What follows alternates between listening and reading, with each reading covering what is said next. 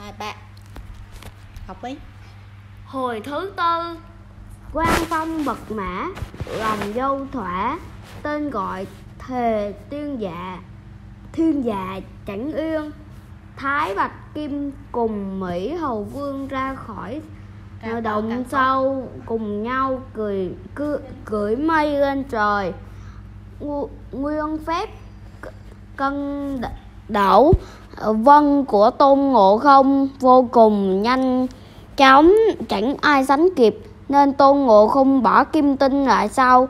Đến ờ, cửa nam thiên trước, ngộ không vừa định thu mây tiến vào, bị ngay tăng trưởng thiên vương, họ dẫn họ bằng họ lưu, họ cẩu, họ tất, họ đặng, họ tân, họ trương, họ đào một đoàn thiên ờ, một đoàn thiên binh vạm vỡ vác giáo gươm kiếm kích, chặn người lại ở ngoài cửa không cho vào, hầu vương nói.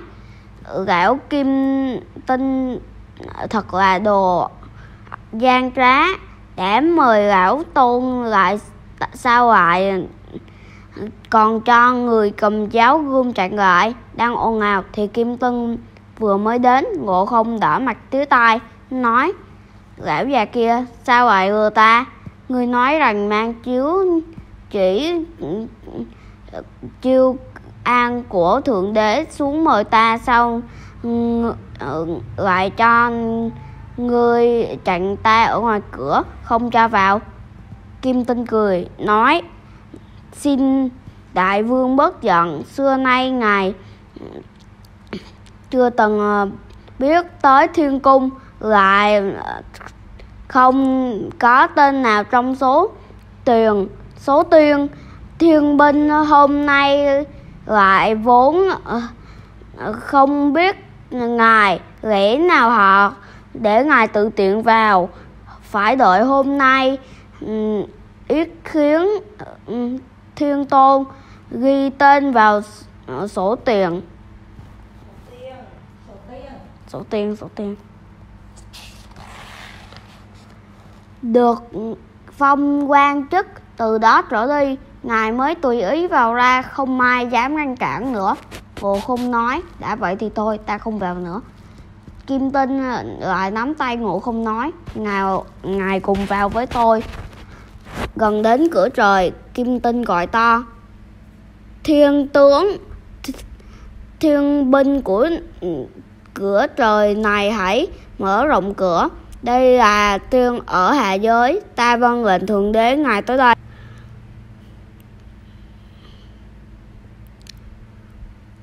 Ngang đâu rồi? Đấy đấy ta vâng lệnh ờ, của thượng đế ừ, mời ngài đến đây. Tăng thượng tăng trường tăng trưởng thiên vương cùng đoàn thiên binh đều thu bức binh lui ra. Lúc ấy hậu vương mới tin cùng kim tinh thông thả bước vào. Thật là vừa lên thượng giới mới đến thiên đình muôn dạo hào quang. Muôn đạo. Muôn đạo hào quang gồng láng đỏ nghìn tầng khí đẹp nhà mù nhã mù xanh. Nh- nhìn cửa nam thiên thấy giác bằng đá lưu ly xanh thẳm nạm bằng muôn ngọc cẩm rõ ràng. Hai bên nguyên sói cờ ổng lẫy Ừ, bốn mặt thiên thần giáo sáng choang đứng ngoài còn đỡ sợ vào trong mới kinh hoàng.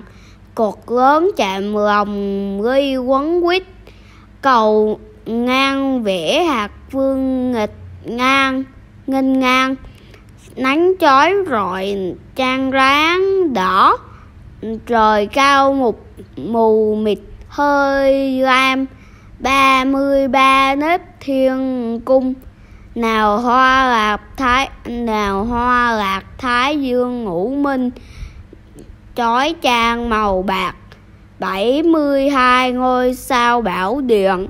Nào triều nào triều vân, lanh hư linh quang rực rỡ, ánh vàng, đại thọ tinh.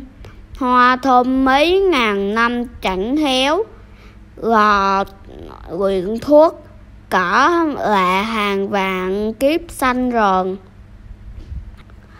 Lại đến trước lầu triêu thánh, kẻ áo lụa từ sau lấp lánh người mũ phù ờ, dung như ngọc huy hoàng, hài châu rông ngọc, thao tía, đại vàng ba tiếng chuông ngân, tam tàu dục dân biểu.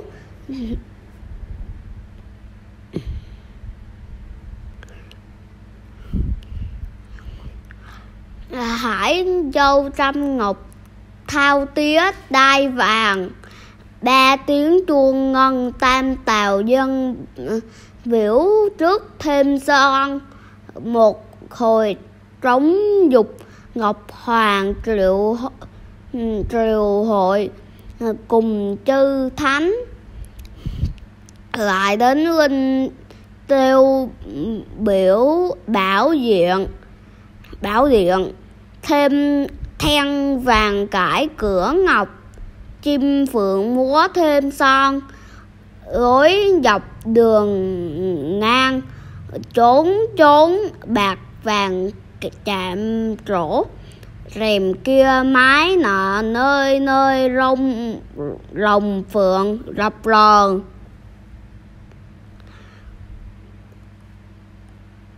à khoan thiên, tiên phi cầm quạt dáng xinh đẹp. Ngọc nữ dân khách sắc rất giòn khăn sắc rất giòn thiên tướng đứng ầu hoai lẫm tuyệt. Tiên khoanh, tiên khanh hộ giá vẽ hiên ngang ở chính giữa. Mâm ngọc lươi, bày đầy ấp thuốc. Tiên thái ất, bình quý mã não. Cắm chen như cây cảnh sang hô, cửa lạc thiên cung đủ cả. Thế gian muôn thuở đừng mơ. Cửa ngọc nhà vàng trang phủ tía. Hoa thơm cỏ lạ, thoảng hương dưa, hương đưa. Thiên tướng đúng hầu oai lẫm liệt. Thiên khánh, tiên khánh hộ giá vẽ hiên ngang ở chính giữa.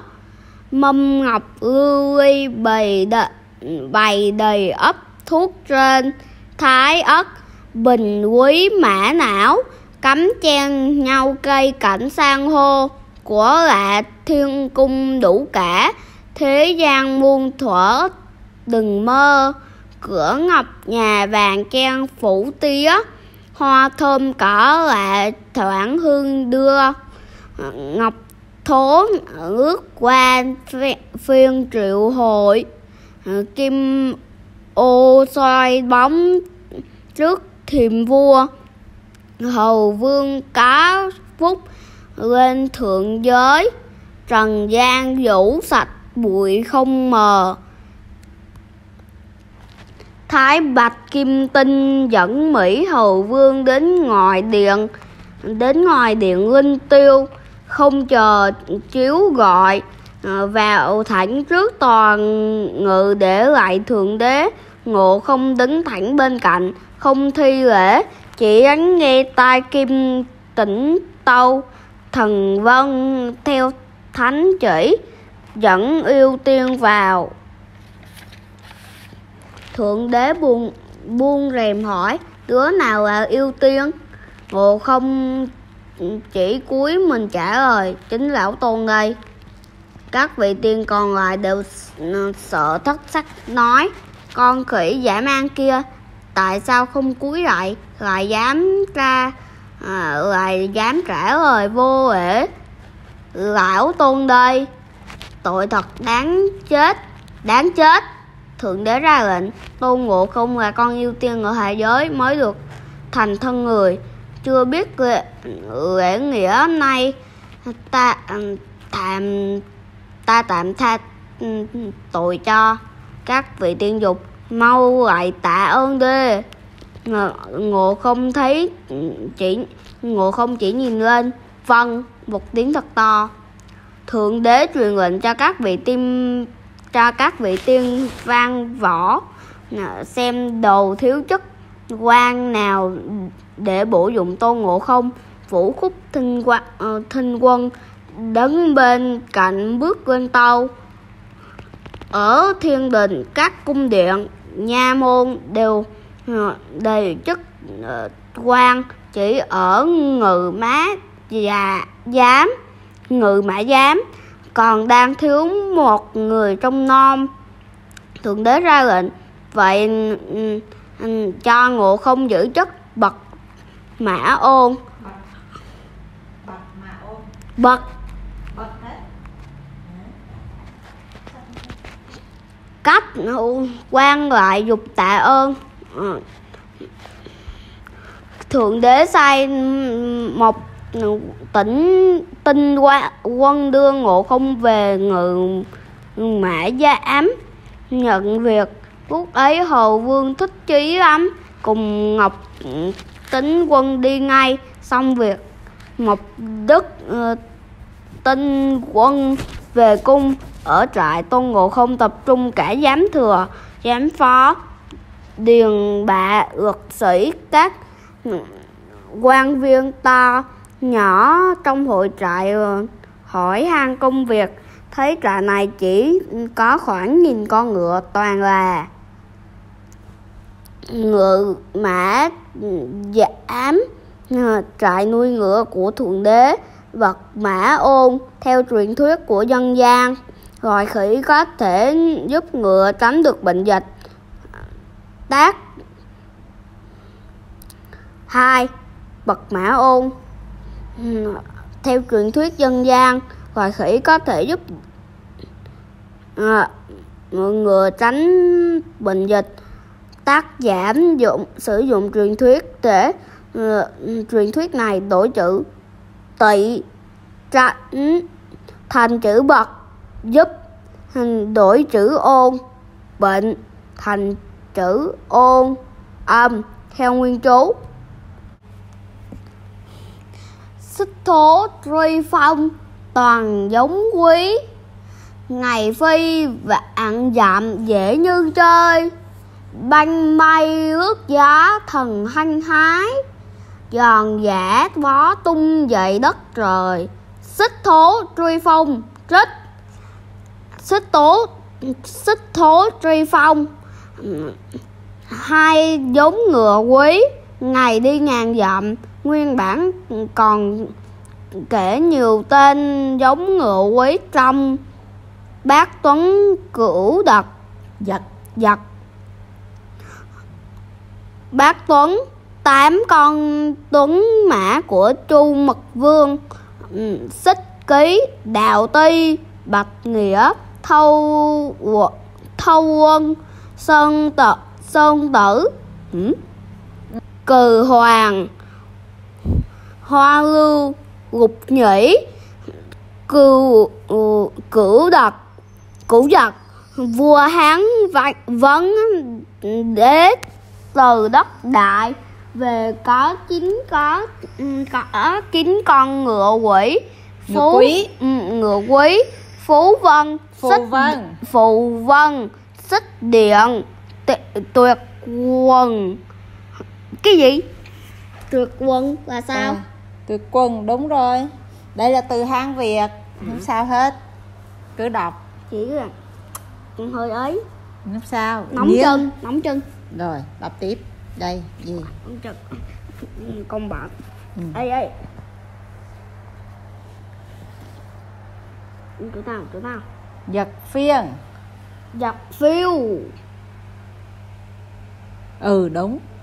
Giật phiêu tử yêu ưu gục ly thông long tử lân âu tuyết trần chúng tôi andy rượt bót chỉ dịch tượng trưng hai giống ngựa quý quen thuộc là xích thố truy phong mà thôi. Ừ.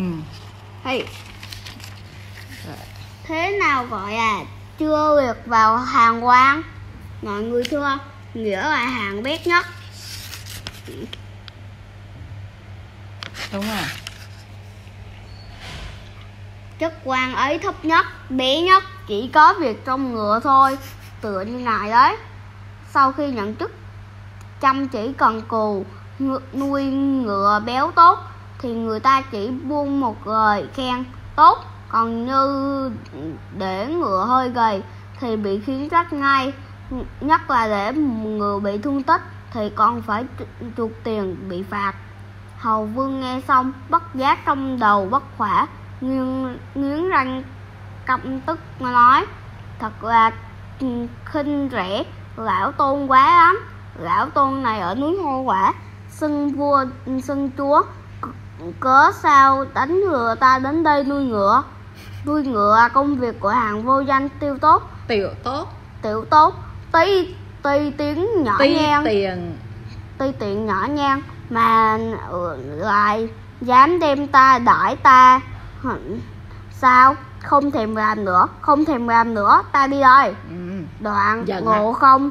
Hừ một tiếng đạp đổ công án rút bảo bối trong tay ra múa tít nó bụng to bằng cái bát. Uyển chuyển nhịp nhàng ra khỏi ngự mã giám. Ờ, thành thẳng đến cửa nam thiên. Thiên binh biết hầu vương có tên trong sổ thiên và bật mã ôn không dám ngăn cản cứ để mặc hầu vương ra khỏi cửa trời. Trong chớp mắt hầu vương đã từ trên mây hạ xuống về đến núi hoa quả. Hầu vương nhìn thấy bột bốn kiên tướng cùng kiền yêu, tướng. kiện tướng cùng cùng yêu vương. cùng yêu vương các động đang luyện tập quân sĩ bèn lớn tiếng gọi các con ơi lão tôn đã về đây lũ lũ khỉ ùa cả lại, cúi đầu sụp lại, rước hầu vương vào động, mời lên ngôi tòa cao. Bài tiệc đón rước lũ khỉ nói, xin chúc mừng đại vương đại vương lên trời mười mấy năm, nay vinh quy chắc thở lòng lắm. Hầu vương nói, ta mới ở có hơn nửa tháng, làm gì đã mười mấy năm? Lũ khỉ thưa, đại vương ở trên trời chẳng biết thời gian gì cả, một ngày ở trên trời bằng một năm, một ngày trên trời bằng một năm ở hạ giới đấy. Xin hỏi đại vương làm quan chức đến chức gì? Hầu vương xua tay, nói. Không đáng nói, không đáng nói. Sao hộ chết người đi được? Người thượng đế không biết dùng người. Thấy ta hình dạng thế này, phong ta làm bậc mã ôn, làm cái việc nuôi ngựa chẳng liệt và hàng quan nào cả. Lúc đầu ta không biết cứ nhận chức, nhẫn nhơ trong ngự mã giám một rồi một hôm hỏi các bạn đồng liêu, ta mới biết trước ấy là ti tiện, lập tức là tôn trong lòng căm tức hất đổ bằng tiệc không nhận chức quan bỏ về liền. Lộ khỉ nói, về hơn chứ, về hơn chứ, đại vương là vua ở nơi phúc địa động núi này, được tôn trọng, sung sướng biết chừng nào tội gì phải làm anh nuôi ngựa cho ai. L- rồi lũ khỉ nói, rồi lũ khỉ hô chúng ta mau bày tiệc rượu để đại vương giải phiền. Đang uống vui vẻ, chợt có người vào hang báo rằng, thưa đại vương, ngoài cửa có hai độc giác quỷ vương xin được gặp. Hầu vương nói, mời vào. Quỷ vương quần áo chỉnh tề bước vào cúi lại. Mỹ hầu vương hỏi, các ngài đến tập, gặp ta có việc gì? Quỷ vương thưa, nghe tiếng đại vương chiêu hiền đã lâu nhưng chưa có dịp yết kiến, nay thấy đại vương ghi tên vào sổ trời, trở về vẻ vang. Chúng tôi đến kính dân một tấm hoàng bào đỏ chúc mừng. Mong đại vương đừng coi chúng tôi hèn hạ thụ thu dụng cho. Chúng tôi nguyện đem hết sức khuyển khuyển mã địch báo đền. Hầu vương mừng lắm, khóc, hoàng bào lên người. Lộ khỉ thức chí chi, chia ba lại mừng. Hầu vương phong ngay cho hai quỷ vương làm bổng, đô đốc tiên phong. Quỷ vương lại tạ rồi lại nói, thưa đại vương đại vương ở trên trời khá lâu, được thượng đế trao cho chức gì? Hầu vương nói, thượng đế coi khinh người hiền, phong cho ta chức bậc mã ô hạng đét. Quỷ vương nghe nói, thưa đại vương, có phép thần thông, sao lại đi nuôi ngựa cho họ? Có làm đến tề thiên đại thánh cũng được ấy chứ. Hầu vương nghe nói, nó thích chí quá nói liền mấy tiếng. Hay hay hay quá. Liền sai bốn kiện tướng, làm cho ta một lá cờ theo bốn chữ lớn tề thiên đại thánh, dựng cột treo ngay lên. Từ nay trở đi, chỉ được gọi ta là tề thiên đại thánh, không được gọi là đại vương nữa. Và truyền ngay cho yêu vương, các động đều được biết. Chuyện đến đây không nói nữa, là nói chuyện hôm sau, thượng đế khai triều thấy trương thiên sứ dẫn các quyên giám thừa giám phó ở ngự mà dám trước đêm son cuối lại tâu. Vàng tuế, bậc mà ô mới nhận chức là tôn ngộ không, nhưng hiềm chức quan nhỏ hôm qua hắn đã bỏ về thiên cung, bỏ thiên cung đi rồi. Lúc ấy lại thấy ngồi cửa nam thiên, tăng trưởng thiên vương, tăng trưởng thiên vương dẫn một tốt thiên binh cùng, cũng vào tâu. Bậc mà ô không biết lý do gì ra khỏi thiên môn đi rồi thượng đế nghe nói bèn ra lệnh. Hai hàng quanh võ, ai về chức nấy, chậm sẽ sai thiên binh đi bắt ngay con yêu quái ấy. Trong bang thác tháp lý thiên vương và na cha, tam thái tử bước ra tiếng lên tâu vạn tuế. Tiểu thần tuy bất tài nhưng xin được đi bắt con yêu quái ấy. Thượng đế cảm mừng phong ngay cho thác tháp lý thiên vương và lý thiên vương, lý tịnh làm hàng hàng ma đại nguyên soái. Na cha làm tam thái tử, na cha tam thái tử làm tan đài hải hội đại thần, lập tức điều binh xuống hạ giới.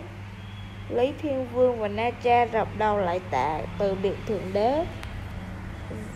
Về ngay bản cung tập hợp ba quân phong các đầu mục, lấy cự linh thần làm tiên phong ngư đổ tướng đi đoạn hậu dược xoa tướng đốc quân. Trong dây rác ra khỏi cửa, nam thiên xuống thẳng núi hoa quả. Chọn nơi bằng phàn cấm trại, truyền lệnh cho cự linh thần khiêu chiến. Cự linh thần tuân lệnh nay thì chỉnh tề cầm cây búa tuyên hoa đến ngoài động thủy liêm.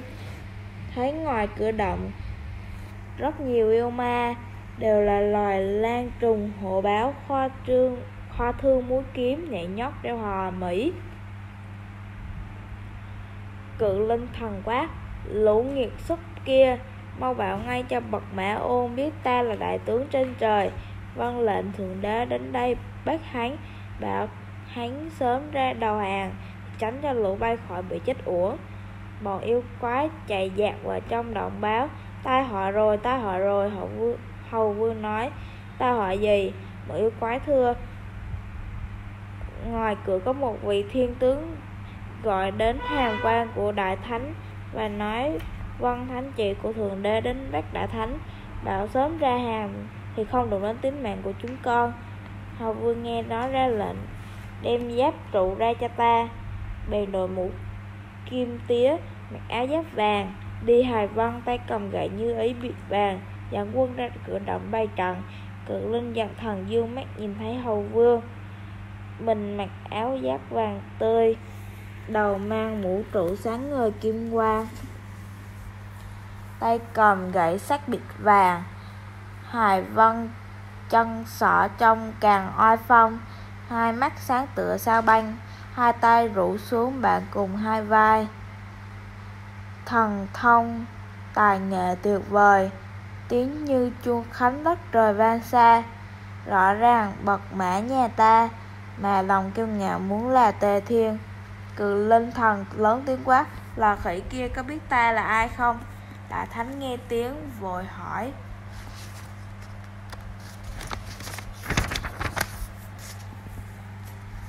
Nhà ngươi là thần thiết ở đâu, lão tôn không thèm biết.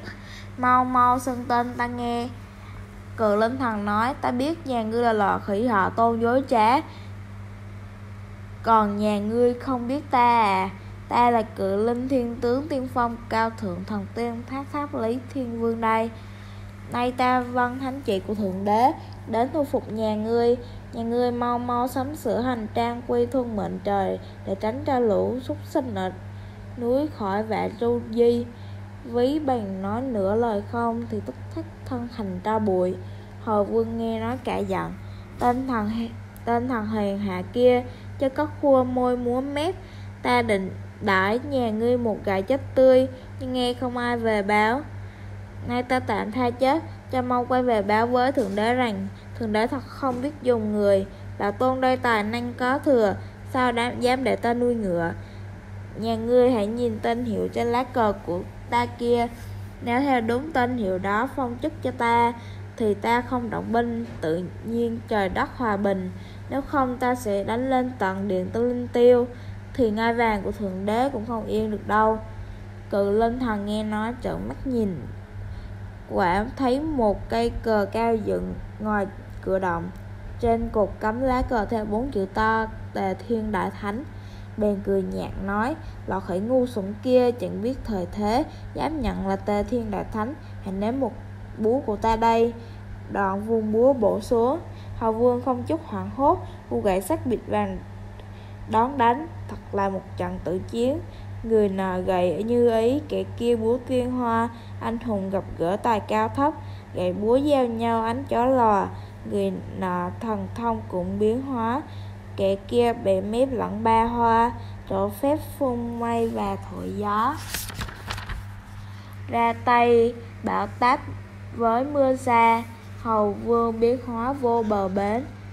Thiên tướng thần thông cũng chẳng tha, gậy múa tiết mù rồng dạc dẫn nước. Búa vung tới tấp phượng xuyên hoa, cự linh doanh tiếng lừng thiên hạ, mà nay tần nghệ phải thua xa. Đại thánh nhẹ nhàng vung gậy sắt cự linh tê dại vội lui về. Cự linh thần dịch không địch không nổi bị hầu vương đánh một gậy vào đầu. Vội vàng giơ búa ra đỡ bỗng nghe rắc một tiếng cán búa gãy làm hai đoạn. Bèn bỏ chạy thoát thân. Hầu vương cười nói đồ hèn đồ hèn ta tha chết cho mày mau về báo Con tin nằm đi. quay lại cái đầu cô đây chứ cự linh thần về đến cửa doanh trại kiến thiết tháp thác tháp lý thiên vương, quỳ xuống ấp úng tâu bậc mã ôn, quả thật võ nghệ cao cường, tôi địch không nổi, thua chạy về đây chịu tội. Lý thiên vương nổi giận quát, nhà ngươi làm nhục nhuệ khí quân ta, lôi ra chém mau. Neo cha thái tử đứng bên cạnh bước ra lạy tạ, thưa, xin phụ vua ngươi nhận tạm tha tội cho cự linh, đợi con mang quân ra đánh một trận xem sao đã. Lý thiên lý thiên vương nghe lời con, tạm thời đưa cự linh vào doanh trại xét bộ sau. Na cha thái tử giáp trụ tỉnh tề bước ra ngoài doanh trại, thẳng tới động thử liêm. Có bái tôn ngộ không thu quân chợt thấy na cha thái tử, dụng mạng sắp tới, thái tử quả là tóc ngôi vừa chấm trán món tóc chữa ngang vai, khôi ngô mà lanh lanh lẹn. Thanh tú lại anh tài chính giống kỳ lân trên thượng giới, thật loài chim phượng quý trên đời. Nòi rồng chẳng nét chẳng nét hao phàm tục, tuổi trẻ anh hùng há kém ai võ nghệ sâu ban thông tỏ hết, thần thông biến hóa đủ mười mươi. Ngọc hoàng thượng đế vừa phong tặng, hải hồ tam đàn chẳng phải chơi. Ngộ không tiến đến gần hỏi chú mày là con cái nhà ai? Xông vào cửa nhà ta có việc gì? Na cha quá, là thị yêu quái hồn láo kia, nó không nhận ra ta sao? Ta là na cha, thái tử thứ ba của thác tháp lý thiên vương này nay văn lệnh thường đế đến đây bắt ngươi. Ngộ không cười nói, thái tử con nít, miệng còn hơi sữa, chưa ráo máu đầu, sao dám nói khoái như vậy? Ta tạm tha cho tính mạng, không thèm đánh ngươi hãy nhìn những chữ gì trên lá cờ của ta kia và tâu với tượng đế rằng, nếu phong cho ta chức quan ấy thì ta sẽ không đồng binh, tự nhiên quy thuận. Nhật bằng không nghe, ta sẽ quyết đánh đến tận điện linh tiêu. Na cha ngẩng đầu nhìn thấy bốn chữ bốn chữ tề thiên đại thánh bèn nói, con khởi yêu quái kia có mấy thần thông mà dám xưng danh hiệu như vậy? Ngươi đừng sợ, hãy nếm một đường gương của ta đây ngộ không nói, ta đứng yên đây mặc cho ngươi chém. Na tra căm giận hét vang một tiếng biến, tức thì thành ba đầu sáu tay rất hung tợn. Tay cầm sáu thứ binh khí gươm chém yêu, đao bổ yêu, dây trói yêu, chày giả yêu, quả cầu theo bánh xe lửa, hùng hùng hổ hổ xông vào đánh. Ngộ không thấy thế giật mình nói, thằng nhóc này cũng lắm phép thuật chớ có vô lễ. Hãy xem thần thông của ta đây. Đại thánh bèn hô một tiếng, biến, liền biến thành ba đầu sáu tay, cầm gậy sắc biệt vàng vung vung tiếp, và cũng biến thành ba cây gậy sáu tay, cầm ba cây gậy đánh đỡ. Trận chiến đấu thật quyết liệt, trời đông, trời long đất lở. Sáu tay thái tử tuyệt vời, mỹ hầu vô cũng là loài trời sinh, hai bên địch thủ kỳ phùng bản nguyên gặp gỡ chính tông trận này. Một người vâng lệnh trời sai, một người thượng giới phen này phá tung. Gương chém yêu sắc lạ lùng đao bộ yêu cũng yêu cũng quỷ kinh thần sầu. Dây trói yêu rắn quấn vào dạ, chày giả yêu mạnh khác nào hổ la. Bánh xe lửa lấy chói chang, quả cầu theo vuốt nhịp nhàng quay quanh. Đã thánh gậy sắt múa nhanh đón sau đón sau đỡ trước vừa rình lập mưu. Hồi lâu chưa rõ thấp cao, thái tự quyết thắng bụng nào chịu thôi. Sau, sáu ban võ nghệ tuyệt vời, thiên biến vạn hóa nhầm người hầu vương. Hầu vương chẳng sợ cười vang, kẻ sắt múa tiếp đánh sang không ngừng. Biến ra muôn thê tấn công, như hộ quét gió như rồng giận mây. Ma vương yêu quái đông tây kinh hoàng đóng cửa suốt ngày chỉnh ra. Đất trời, gió thổi mưu xa, gươm thần gậy sắt chạm va ào ào. Một bên thiên tướng tài cao, một bên khỉ quái phép nào có thua, đánh nhau quyết liệt có thừa. Ai thắng, ai bại, hàng giờ chữa phân. Thái tử và ngộ không đều trổ thần công đánh nhau đến 30 hiệp sáu ban võ nghệ của thái tử thiên biến vạn hóa. Cái gậy sắt biệt vàng của ngộ không cũng vạn hóa thiên biến. Giữa không trung như mưa rút sao xa. Không phân thắng phụ tôn ngộ không vốn lăn tay lăn tay tinh mắt đang lúc hỗn chiến liền nhổ một sợi lông. Hô biến lập tức thành một tôn ngộ không giả. Tay cầm gậy sắt đánh dưới Na Cha một miếng. Còn Tôn Ngộ Không thật tôn người ra phía sau Na Cha, cầm cánh tay trái bổ xuống một gậy. Na Cha đang mãi dùng phép, nghe tiếng gậy đánh vào, bộ né tránh nhưng không kịp đánh trúng một gậy. Đau quá, phải tháo chạy. Thu phép thuật cùng sáu thứ binh khí thua trận chạy về. Đứng trong trận, lý thiên vương đã thấy rõ tình hình. Và vàng toan thúc quân trợ chiến, nhưng không ngờ thái tử đã chạy đến trước mặt, rung như cây sấy họ nói, thư phụ vương bậc mà ô và nghệ cao cường, pháp thuật của con không nổi, bị hắn đánh, bị thương vào tay.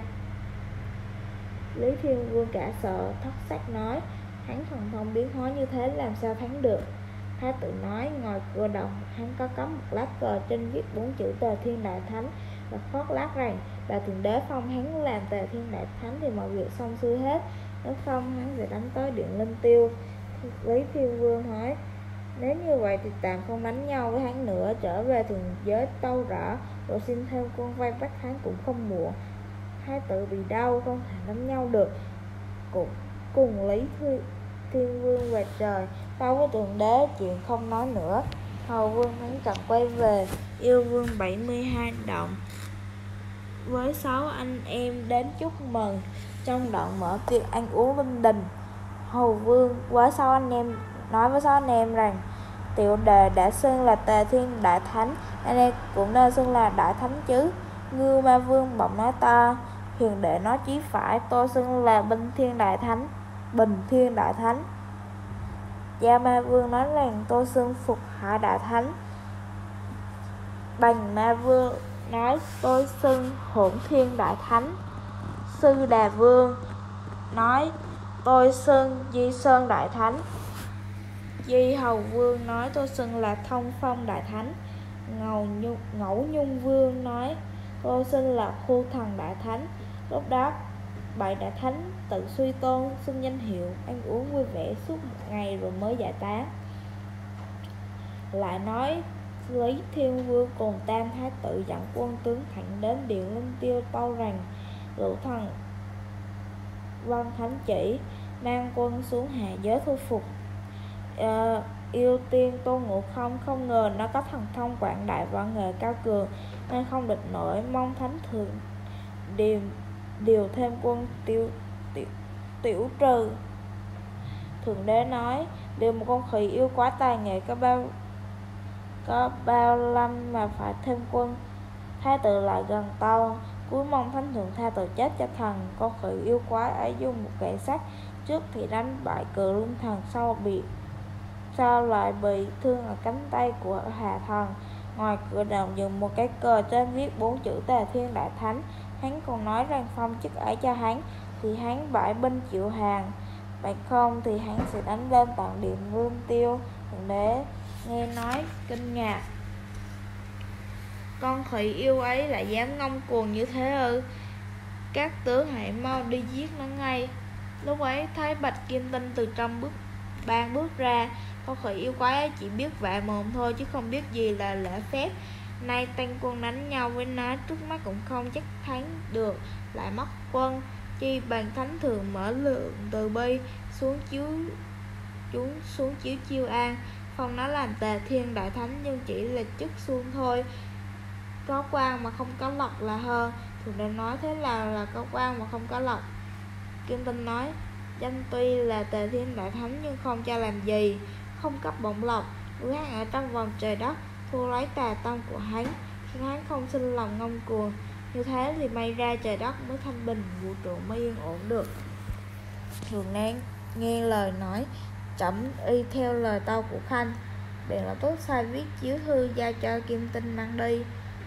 Một lần nữa, kim tinh ra cửa nam tiên thần xuân động thủy liêm, núi hoa quả xem xét lần này khác hẳn lần trước y phong lẫm liệt, sát khí đèn đành đủ loại mọi yêu quái con nào con nấy mang kiếm vác thương kho đao múa gậy hò hét nhảy nhót.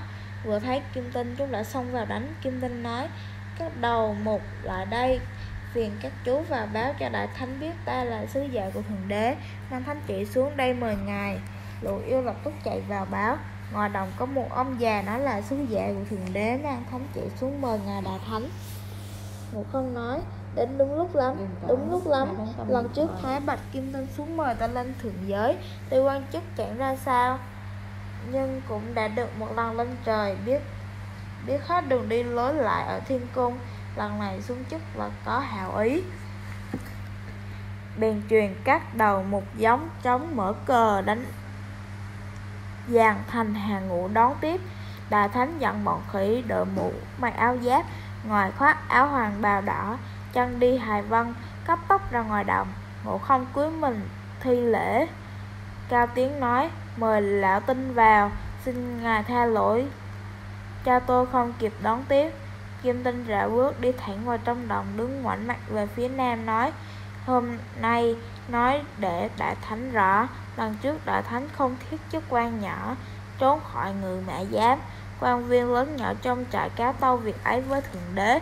Thượng đế truyền lệnh phàm việc trao quan chức phải từ thấp lên cao cớ sao lại hi, hiềm là nhỏ. Lúc ấy có lý thiên vương dẫn na cha xuống hạ do đánh nhau với đại thánh. Không ngờ đại thánh thần thông nên na cha thua chạy về chờ tao rằng đại thánh có dựng một cây cờ muốn làm tề thiên đại thánh. Nhiều võ tướng còn toan đánh nữa. Nhưng lão đây có sức thanh minh, tao xin chức ấy cho đại thánh, để khỏi đồng binh. Thượng đế nghe theo, bởi thế lão mới đến đây mời đại thánh. Không cười nói, ở trước ngài đã khó nhọc, lần này quá, lại quá ưu ái. Tôi xin cảm tạ cảm tạ, nhưng không biết trên trời có hàng quan tề thiên đại thánh không? Kim tinh nói, lão đã tâu thượng đế chuẩn ý hàng quan ấy thì hôm nay mới dám mang thánh chỉ xuống. Nếu không, bằng lòng đại thánh cứ bắt tội lão đây là được. Ngộ không hớt hở, cô dự kim tinh lại mở tiệc thất đãi nhưng không được.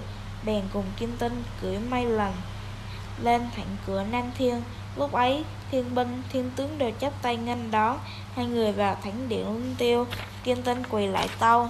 Thần văn chiếu đã dẫn bậc mà ôn, tôn ngộ không đến. Thượng đế nói, tôn ngộ không lại đây, lần này triệu nhà ngươi lên cho làm đề tề thiên đại thánh. Quan cao cực phẩm nhưng không được làm việc. Hồ đồ nghe chưa? Hầu vương cũng chỉ lên, quay lên dạ một tiếng cảm ơn. Rồi đế lập tức sai hai công cán họ trương họ lỗ dựng ngay ở mé phải vườn bằng đào một tòa phủ tề thiên đại thánh.